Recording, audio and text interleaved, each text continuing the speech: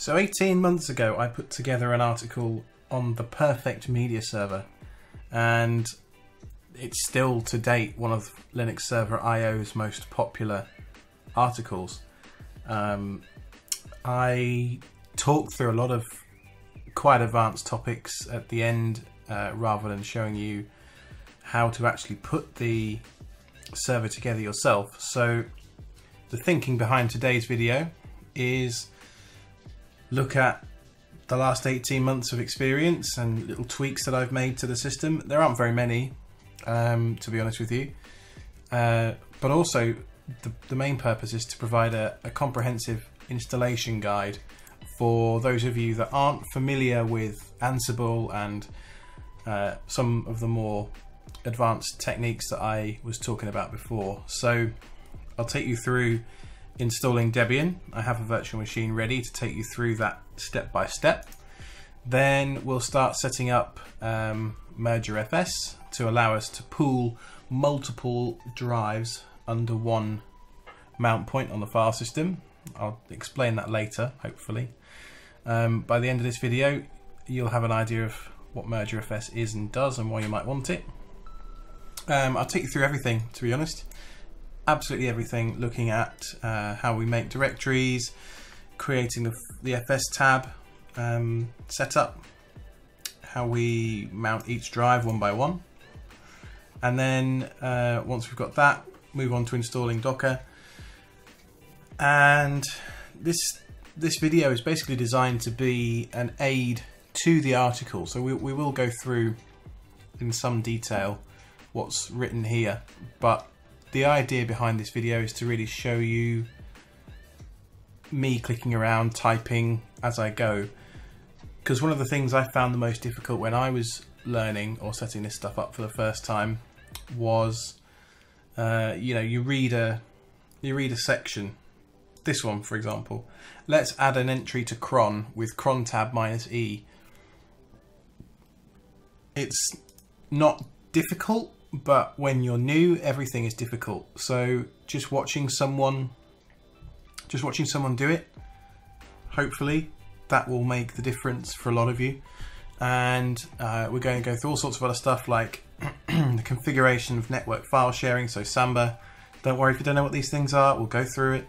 So Samba, NFS, um, but then we'll also do some cool stuff with Docker Compose.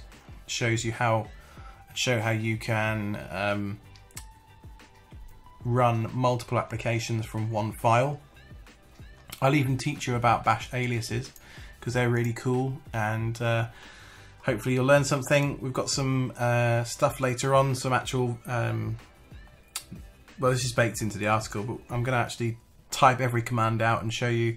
But this is taken from my live server, which the article was written to serve, uh, to create in the first place 18 months ago and it was just documentation of that. So this this server Epsilon uh, hasn't been reinstalled since February last year which is crazy for me. Um, but yeah we'll come on to that later. And uh, so I've also going to include a couple of uh, user interface options for you web UIs because I know some people prefer those over the command line. Personally I don't but I know that some people do.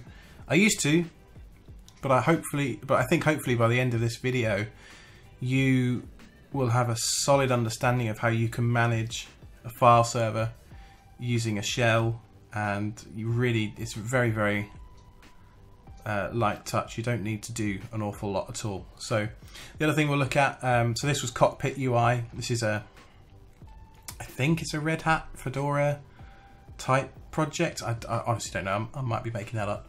Um, but yeah, it's a, it's a, dashboard for your server, kind of cool. And also we'll take a look at Portainer, which is a, a Docker container user interface um,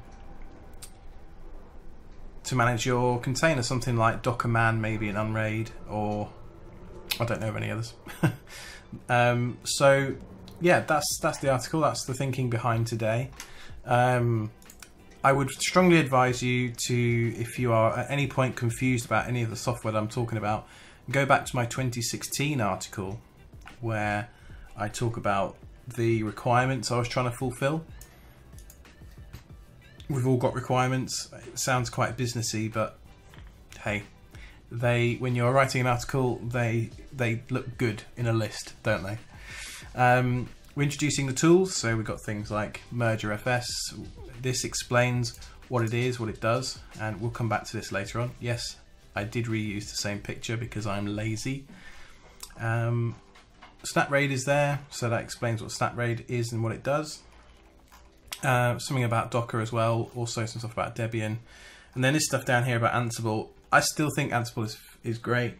I still think everyone should try and use it, but uh, to understand automation, you need to have done it first manually a few times. So what we'll take you through in this video is doing things manually, and then um, maybe in a few months you'll be able to move on to some automation yourself.